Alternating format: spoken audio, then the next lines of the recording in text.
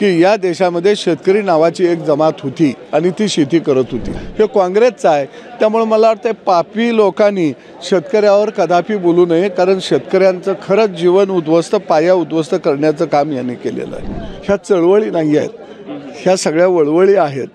आणि म्हणून त्याचा हा सगळा परिणाम दिसत आहे. त्याच्यामागं वैचारिक असं काही जडणघडण मला दिसत नाही. नाही मला लोकसभा लढवायची आहे. मी भारतीय जनता पक्षाकडं हातकणंगले लोकसभा मतदारसंघ हा घटक पक्ष म्हणून आव्हानित द्यावा ही मी नि निश्चितपणानं मागणी केलेली आहे. माजी मंत्री आणि शेतकरी नेते सदाभाऊ खोताय सदाभाऊ आज उपमुख्यमंत्री देवेंद्र फडणवीस आणि केंद्रीय मंत्री पियुष गोयल यांची तुम्ही भेट घेतलेली आहे. काय त्यांच्याकडे मागणी केली आहे? मी मुंबईमध्ये उपमुख्यमंत्री आदरणीय देवेंद्रजी फडणवीस आणि देशाचे वाणिज्य मंत्री पियुषजी गोयल साहेब यांची बैठक आमची झाली आणि याच्यामध्ये आम्ही मागण्या केलेल्या होत्या की दुधाच्या भुकटीला निर्यातीला केंद्रानं मोठ्या प्रमाणामध्ये अनुदान देणं अत्यंत गरजेचं आहे. कारण दुधाचे भाव राज्यामध्ये मोठ्या प्रमाणामध्ये कोसळलेले आहेत. सरकारचं परिपत्रक चौतीस रुपये असताना शेतकऱ्याला मात्र या ठिकाणी चोवीस पंचवीस रुपये प्रति लिटर दुधाला भाव मिळत आहे. आणि म्हणून आज दुधाच्या प्रश्नावरती राज्यानं सुद्धा बैठक राज्य सरकारनं बोलवलेली आहे मुख्यमंत्र्यांच्या अध्यक्षेखाली. आणि अपेक्षा आहे की शेतकऱ्यांना या बैठकीमधून न्याय मिळेल. महाराष्ट्रातला शेतकरी डोळं लावून इकडं खऱ्या अर्थानं बसलेला आहे. दुसऱ्या बाजूला इथानॉलवरती ब बंदी आणलेली आहे. त्याचा परिणाम ऊस उत्पादकांच्या दरावरती होणार आहे. आणि म्हणून त्याही बाबत आपण योग्य निर्णय घ्यावा. कांद्याचा प्रश्न राज्यामध्ये उभा राहिलेला आहे. कांद्याला तुम्ही एका बाजूला निर्यात शुल्क व- लावलेलं आहे. दुसऱ्या बाजूला निर्यात बंदी केलेला आहे. म्हणजे शेतकऱ्यानं ऊस पिकवला तरी बंदी घालताय कांदा लावला तरी बंदी घालताय गहू लावला तर त्याला स्टॉक लिमिट आणलं या म्हणजे शेतकऱ्यानं करावं काय? म्हणजे मला वाटतं शेतकऱ्यानं शेतीमधून बाहेर पडावं का? आणि ही सगळी शेती ही उद्योगपतींच्या घशात घालावी का? असं काही धोरण आहे का? की शेतकरी एकदा शेतातनं बाहेर पडला की या उद्योगपतींच्या दारामध्ये हमालकी करायला फुकटामध्ये कमी दरामध्ये श्रम श्रम करणारा श्रमिक म्हणून गुलाम म्हणून पाहिजे आहे का? अरे या देशाची अर्थव्यवस्था एकेकाळी शेतीवर आ- आत्मनिर्भर होती. आज शेती जर तुम्ही अशा पद्धतीनं वसाड करणार असाल कंगाल करणार असाल तर मला वाटतं एकेकाळी अशी मन रूढ होईल की या देशामध्ये शेतकरी नावाची एक जमात होती आणि ती शेती करत होती. हे सरकार शेतकऱ्यांच्या हिताचं नाही शेतकऱ्यांच्या प्रश्नाला गांभीर्याने पाहत नाही असं विरोधकांचा रोज त्यांच्यावर टीकास्त्र असतं अशी त्यांच्यावर टीका असती. याच्याशी तुम्ही सहमत आहात का? येरं माझ्या मागल्यान ताक कन्या चांगल्या. कारण जे टीका करत आहेत त्यांच्या काळामध्ये करोना आलेला होता. त्यावेळी शेतकऱ्यांनी भाजीपाला रस्त्यावरती अक्षरशः फेकून दिला. दूध रस्त्यावरती फेकून दिलं. शेतकऱ्याला कोरोनाच्या काळामध्ये एवढ्या मोठ्या महामारीमध्ये एक रुपयाची सुद्धा मदत न केलेल्या लोकांना शेतकऱ्यावरती निश्चितपणानं बोलण्याचा अधिकार नाही. कारण गेली सत्तर वर्ष तुमचंच या देशावरती राज्य होतं आणि या सत्तर वर्षामध्ये तुम्ही अनेक कायदे शेतकऱ्यांच्या विरोधामध्ये बनवलं आणि शेतकऱ्याला गुलाम बनवण्याचं काम खऱ्या अर्थानं काँग्रेसनं या देशामध्ये केलेलं आहे हे माझी स्पष्ट भूमिका आहे. आणि म्हणून तीन कृषी विधेयकं ज्यावेळी लोकसभेमध्ये नरेंद्र मोदीजींनी आणले त्याला विरोध या करंट्याने केलेला होता. म्हणजे शेतकऱ्याला गुलाम ठेवण्याचं महापाप हे काँग्रेसचं आहे. त्यामुळे मला वाटतं पापी लोकांनी शेतकऱ्यावर कदापि बोलू नये कारण शेतकऱ्यांचं खरंच जीवन उद्ध्वस्त पाया उद्ध्वस्त करण्याचं काम यांनी केलेलं आहे. काल बच्चू कडू सभागृहात बोलत असताना मोठा आक्रमकतेने त्यांनी शेतकऱ्याचा प्रश्न मांडला. ते म्हणाले या सरकारच्या डोक्यात भुसा भरलाय की काय? असं त्यांनी आपल्या स्वपक्षाला आपल्या मित्रपक्षाला आपल्या मित्रालाच त्यांनी धारेवर धरलेलं आहे. बच्चू कडू योग्य बोलले पण दुर्दैवही आहे की सत्तेत आल्यानंतर मीही सभागृहात होतो अनेक शेतकऱ्यांचे प्रश्न उभा केले.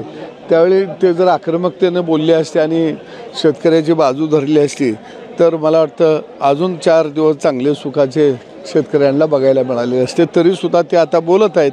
मी त्यांना मनापासून शुभेच्छा आणि धन्यवाद देतो. सदाभाऊ आता किती दिवस चालायचं? तुम्ही एवढे धडाकेबाज नेते आणि तुम्ही सभागृहाच्या बाहेर आहेत. मित्रपक्षाकडून संधी मिळत नाही आहेत अशी व्यक्ती सभागृहात पाहिजे शेतकऱ्यांसाठी? काय आहे की आजच्या राजकारणामध्ये डोक्यांना महत्त्व आहे. तुम्हाला घेतल्यानंतर तुमच्या मागे किती डोके आहेत? आणि आम्हाला सरकारच्या दृष्टीने ही डोकी काय कामाचे आहेत किती कामाला येतील यावर राजकीय सगळा खेळ ठरलेला असतो.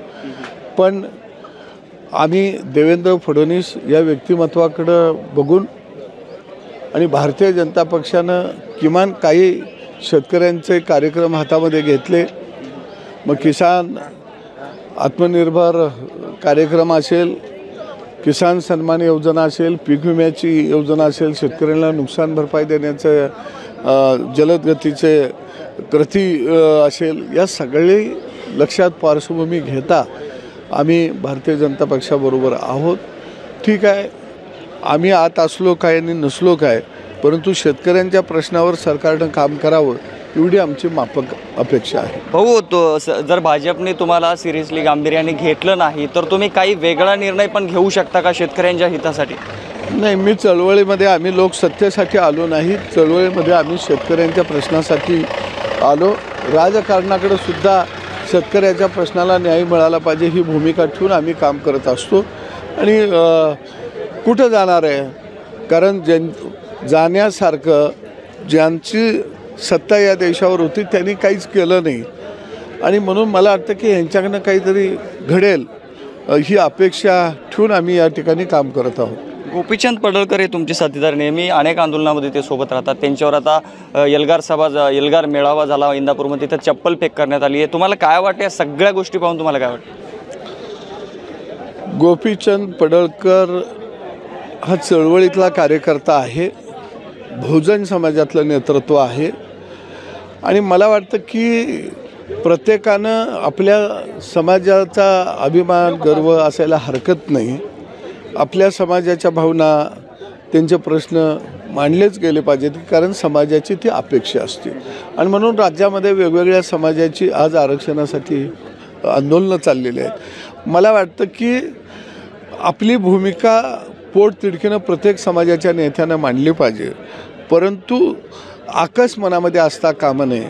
त्यांच्यावर जो काही हल्ला झाला किंवा चप्पलफेक झाली ते मला वाटतं की नेमकं मराठा समाजाला आरक्षण देण्यासाठी हे मंडळी काही आंदोलन करत आहे?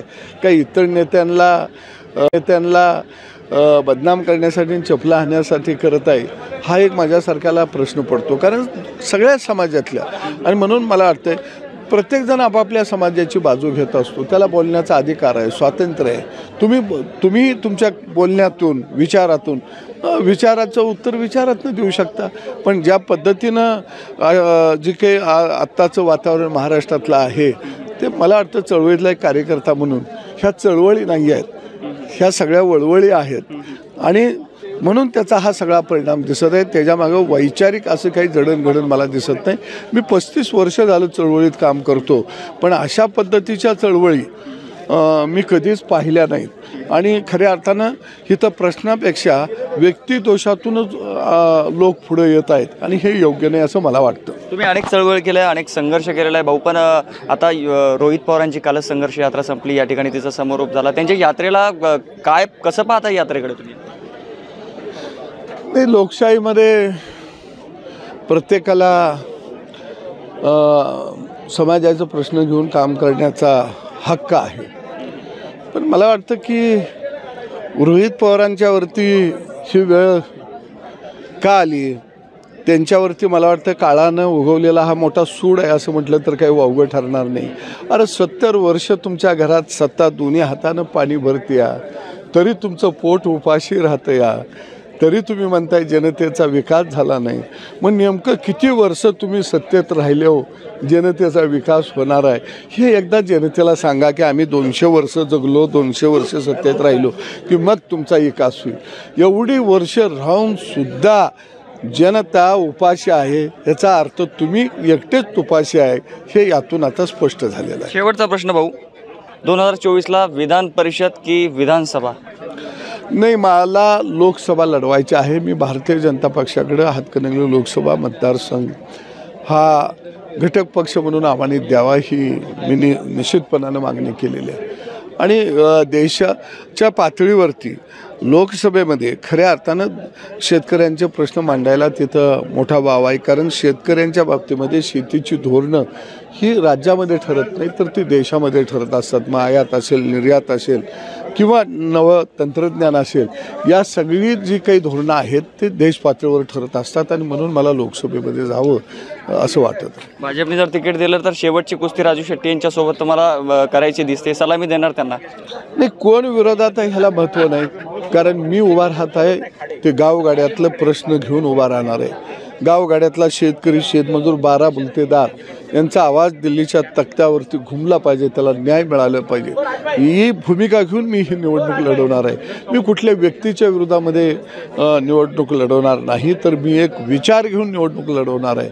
आणि त्यामुळं मला वाटतं की कोण पुढे येणार आहे कोण असेल याची चिंता मला अजिबात नाही. निश्चित तर हे होते सदाभाऊ खोत जे यांनी शेतकऱ्याच्या प्रश्नावर आणि आगामी आपल्या राजकीय वाटचालीबद्दल त्यांनी या ठिकाणी आपल्याशी मतं व्यक्त केलेलं आहे. विष्णू साना प्लेट्सअप मराठी नागपूर.